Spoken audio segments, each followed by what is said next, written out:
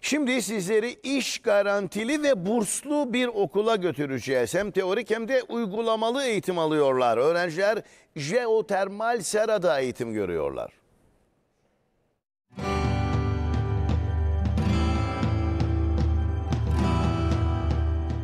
Derslerini ve uygulamalı eğitimlerini jeotermal serada görüyorlar. Çalıştığımız seralarda biz bunları mühendisten birebir uygulama olarak görüyoruz. Türkiye'deki meslek yüksekokullarında sadece 9 seracılık programı var. Onlardan biri de Sandıklı ilçesinde 58 öğrenci ile eğitim öğretim faaliyetlerine devam ediyor. Sandıklı'daki seracılık programı öğrencileri diğerlerine göre önceliklere sahip tam burslu olarak okuyor öğrenciler ve aynı zamanda da jeotermal seralarda uygulamalı eğitim görüyorlar.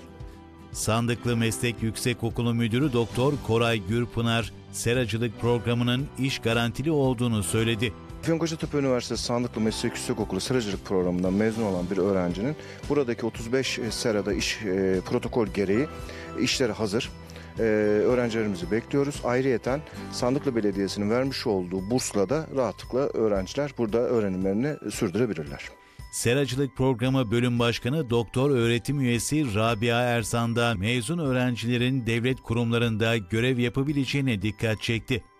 Öğrencilerimiz mezun oldukları zaman KPSS'den yeterli puan alarak Tarım Orman Bakanlıklarına ziraat teknikeri olarak çalışabilirler.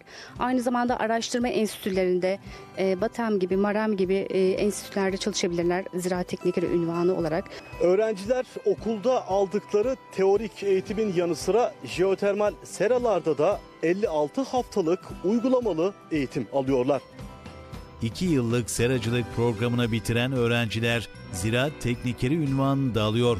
İş olanakları çok fazla. İşsiz kalma gibi bir durumunuz kesinlikle olmaz. Sandıklı zaten sera bölgesi olduğu için fazlaca sera var ve teknoloji açısından da çok iyi seralarımız var sandıklı bölgelerinde.